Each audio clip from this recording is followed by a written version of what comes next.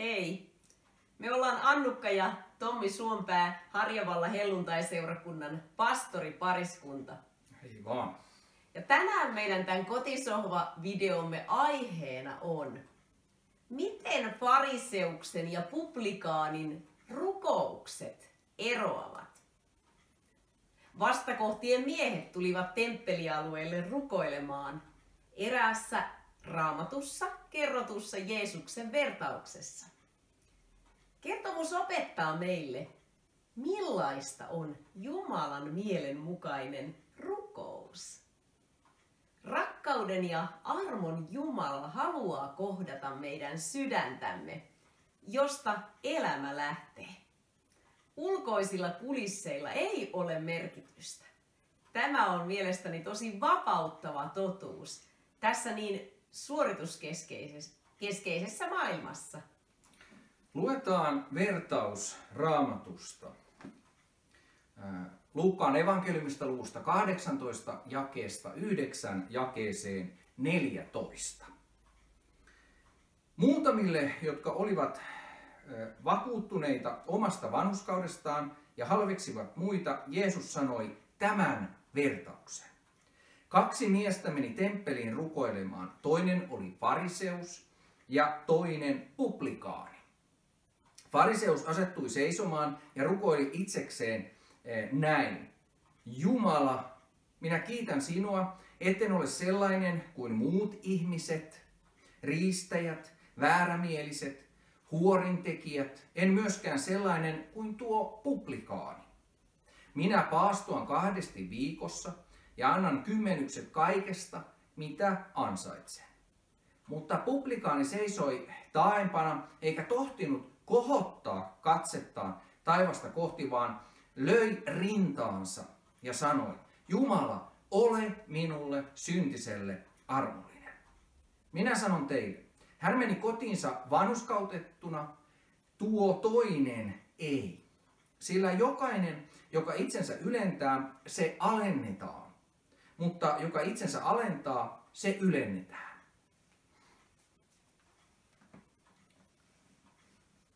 Temppeli oli juutalaisten Jumalan palveluksen keskus. Jerusalemin lähellä asuvat menivät sinne usein rukoilemaan. Fariseus ei mennyt temppeliin rukoilemaan Jumalaa, vaan ilmoittamaan kaikille kuuloetäisyydellä oleville, kuinka hyvä hän omasta mielestään on. Voisimmeko me keskittyä ennemminkin rohkaisemaan kuin painamaan toisia? On hyvä pohtia omia toimintamalleja.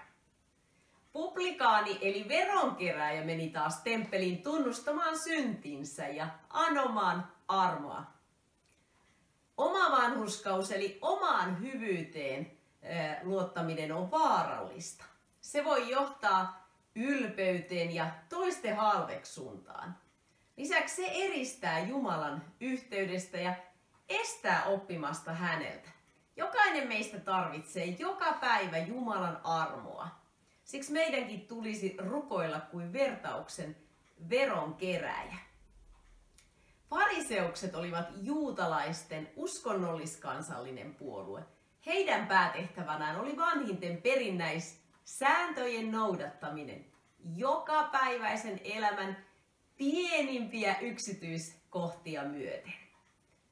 Fariseukset olivat Mooseksen lain asiantuntijoita ja uskonnollisia johtajia. Fariseuksilla oli arvovaltainen asema juutalaisessa yhteiskunnassa ja tärkeä rooli ihmisten silmissä. Heidän tehtävänä oli tulkita kymmentä käskyä, vanhan testamentin muita säädöksiä ja vanhinten perinnäissääntöjä. Toisinaan fariseusten tulkinnat estivät järjen käytön ja lähimmäisen auttamisen. Näin elämä irtaantui kymmenen käskyn todellisesta tarkoituksesta ja hengestä. Kertomuksessa oli vastakkain kaksi mahdollisimman erilaista ihmistä. Yleisesti mallihurskaaksi tunnustettu fariseus ja hylkiönä pidetty vieraan miehittäjävallan palvelija. Näiden kahden miehen kautta Jeesus kuvaa oikeastaan vieläkin syvällisempää asiaa. Hän maalaa mestarillisin pensselin vedoin kuvat kahdesta ihmistyypistä. Hän on siellä kuin kotonaan. Hän seisoo oikeaoppisessa juutalaisessa rukousasennossa, kädet ja kasvot kohotettuina, kuuluvasti ääneen rukoilen. Rukous alkaa kauniisti Jumalan ylistyksellä. Kuitenkin tämä kiitoksen aihe paljastaa, että fariseus ylistää pelkästään itseään virtaamalla omaa erinomaisuuttaan muiden lankeemuksiin. Hänen kiitoksensa aihe on kaikessa paljaudessaan se, että hän on parempi kuin muut ihmiset. Vieläpä oikein nimeltä mainitin temppelissä näkemänsä publikaanin. Hänen rukouksensa on minä keskeistä. Hänellä ei oikeastaan ole yhtään syntiä tunnustettavaksi Jumalalle. Paremminkin hän tekee parannusta muiden rikkomuksista. On tervettä kysellä itseltään, näenkö virheitä ympärilläni tai seurakunnassani olevissa ihmisissä, kuten fariseus. Me olemme ainakin joutuneet tekemään tässä asiassa parannusta.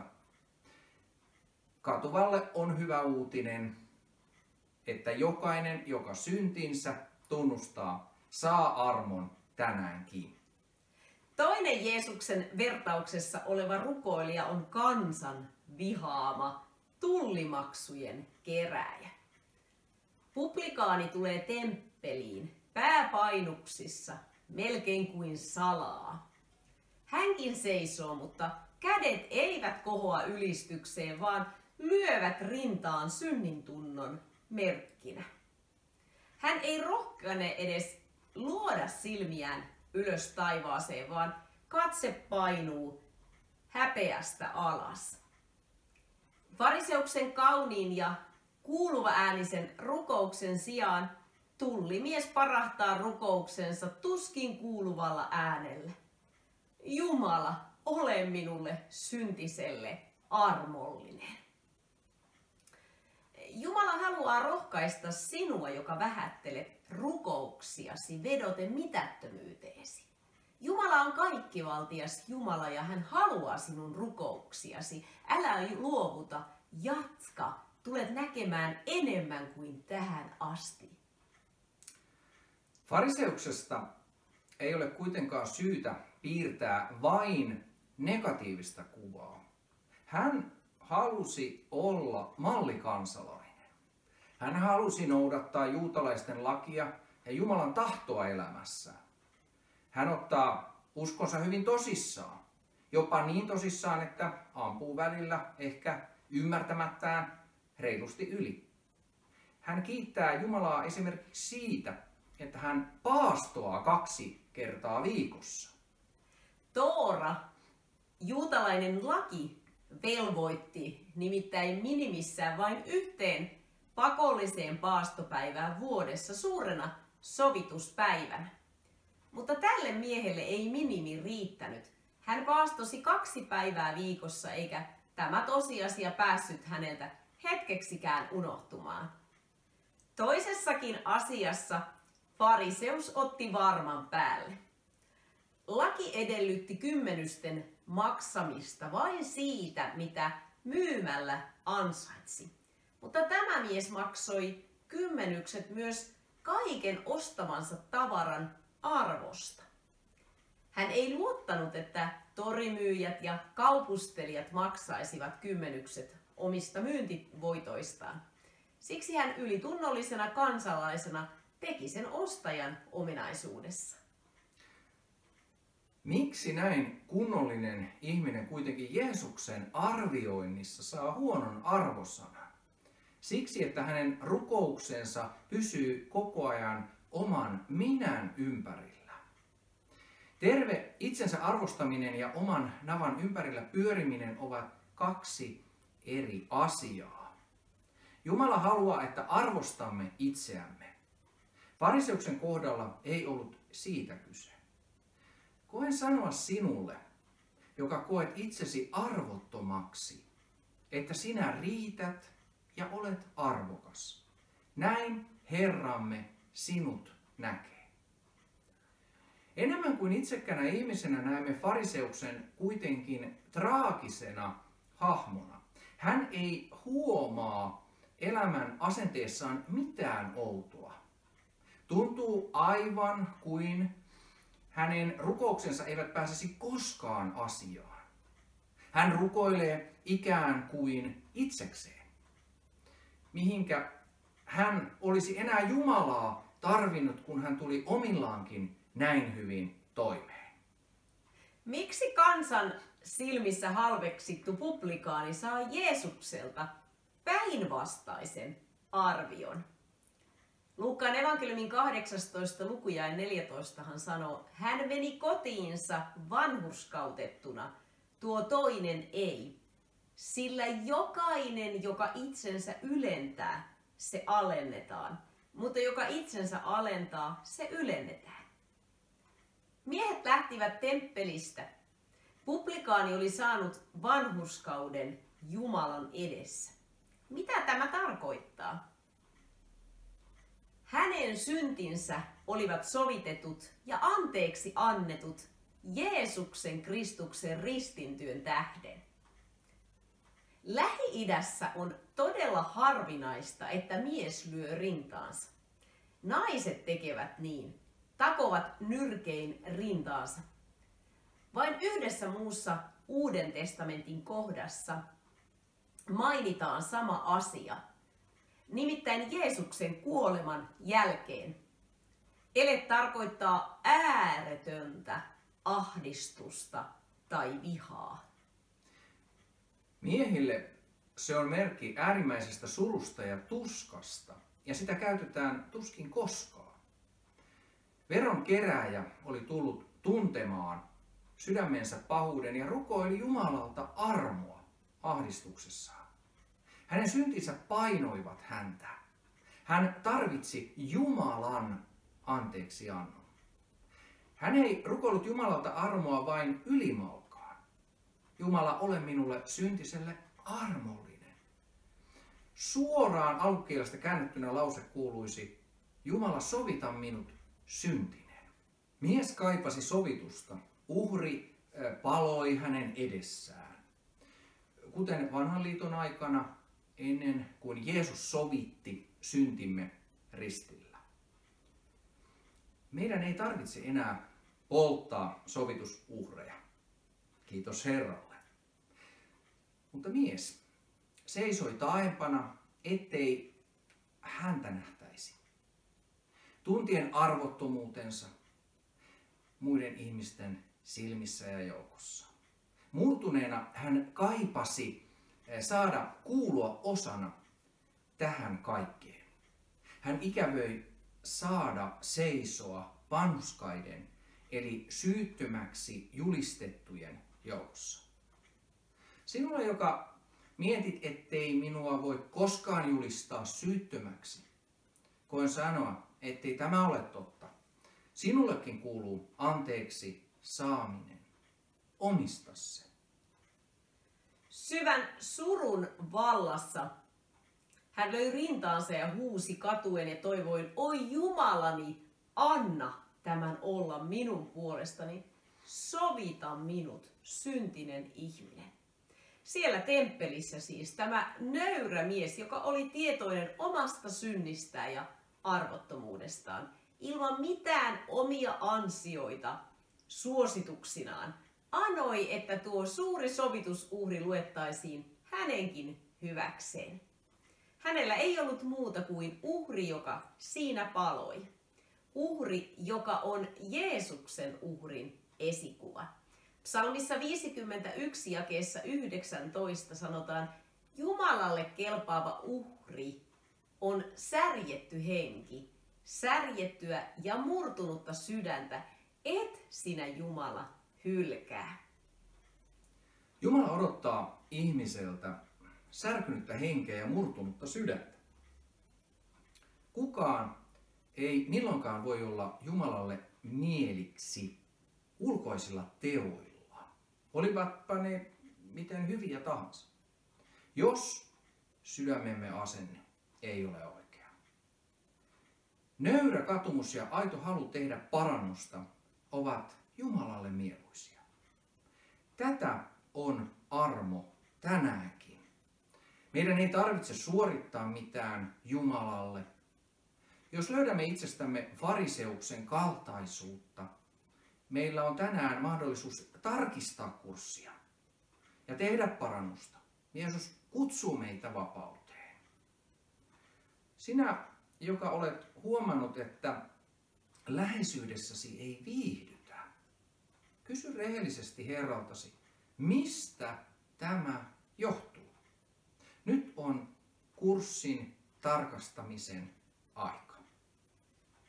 Rukouksen paikalla jokainen ihminen on Jumalan edessä syntinen, joka tarvitsee armahtamista, huolimatta siitä, miltä elämä ulospäin näyttää.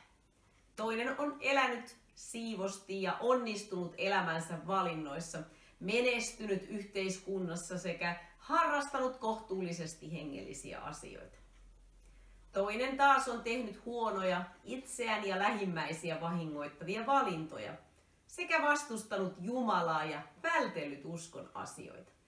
Kuitenkin lähestyessään rukouksessa Jumalaa molemmat ovat aivan samalla viivalla tarvitsemassa syntien sovitusta, jonka Jeesus meille ansaitsi.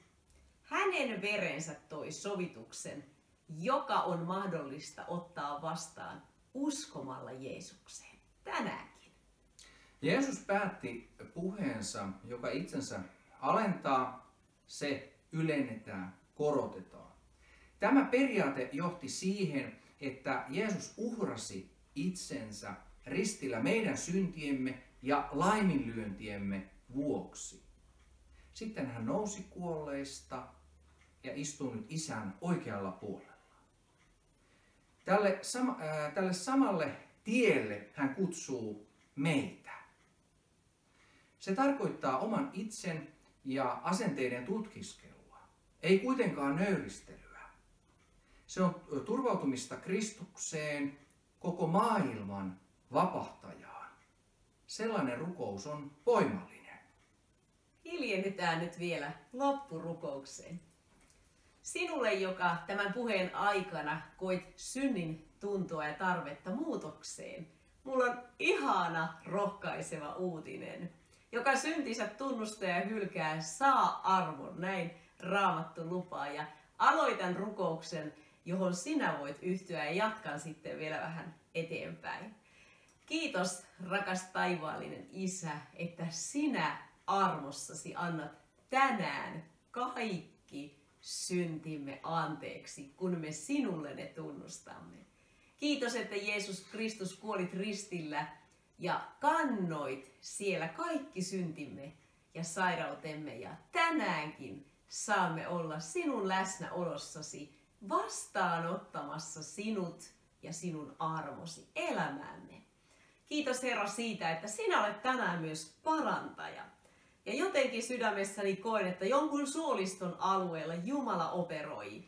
Kiitos Jeesus, että sinä parannat tälläkin hetkellä sairauksia. Sinä olet sama eilen, tänään ja iankaikkisesti. Hoida sinä meidän myös oman elämän vaikeita tilanteita, ihmissuhdeasioita, taloudellisia huolia, kaikenlaisia asioita. Me jätetään kaikki elämämme ilot ja surut, pelot ja toivo, kaikki mitä meidän elämä sisältää sinun hyviin rakastaviin käsisi. Jeesuksen Kristuksen nimessä tätä pyydän. Aamen. Siunausta sinulle. Ole siunattu.